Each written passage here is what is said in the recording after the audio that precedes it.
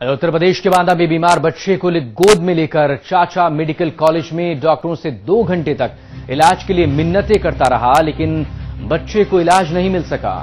आखिरकार तड़प तड़प कर इस मासूम ने गोद में ही दम तोड़ दिया।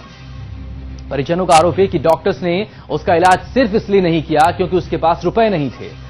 परिजनों ने यह भी कहा कि डॉक्टर बार बार पैसे की मांग कर रहे थे, बच्चा पांचवी क्लास में पढ़ता था और तबीयत ज़्यादा खराब हो जाने के बाद उसे बांदा मेडिकल कॉलेज लाया गया था लेकिन डॉक्टर इलाज करने की बजाय इधर उधर दौड़ाते रहे।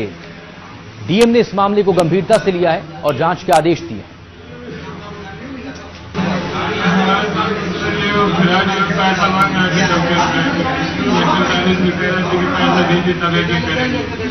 कौन सा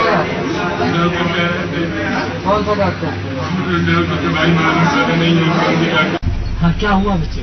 आप जाएँगे क्या हो गया? आपको नहीं नहीं तो क्या हुआ? कहाँ ले गए थे? मेडिकल कॉलेज ले गए आप नहीं